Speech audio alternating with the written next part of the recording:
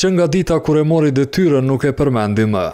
Mbase atë që e kishte për ta thënë për Asociacionin e Komunave me Shumicë Serbe, kryeministri Albin Kurti e shprehu pak orë para se të betohej në Kuvend, më njëzet e dy mars të këtij viti.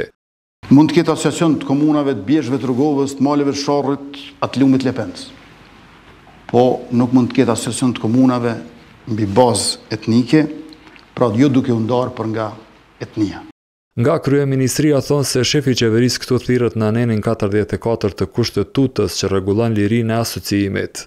Por se a kanë plan konkret për krijimin e bashkësisë së komunave nuk treguan ani se këtij organizmi i dedikoheshin gjashtë nga pesëmbëdhjetë pikat e marrëveshjes së nënshkruar tetë vjet më parë në Bruksel. Bashkimi Evropian si lehtësues i dialogut po i kërkon Kurtit respektim të kësaj ujdie që ishte e para e parimeve për normalizimin e marrëdhënieve me Serbinë.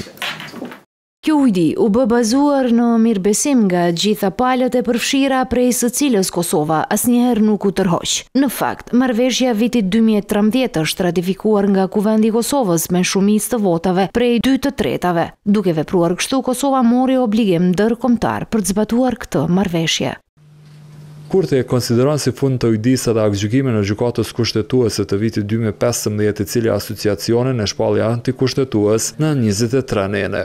Por në përgjigjen për Klan Kosova nga BE-ja e thonë të kundërtën.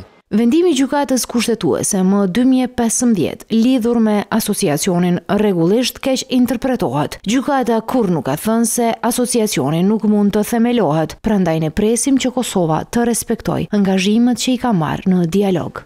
Qëndrimi final i Qeverisë për këtë çështje mund të dihet brenda pak ditësh. Është kryetarja e grupit parlamentar të Lëvizjes Vetëvendosje Mimoza Kusari Lila ajo që të martën tha se ekzekutivi së shpejti prezanton qëndrimet e tij në raport me dialogun.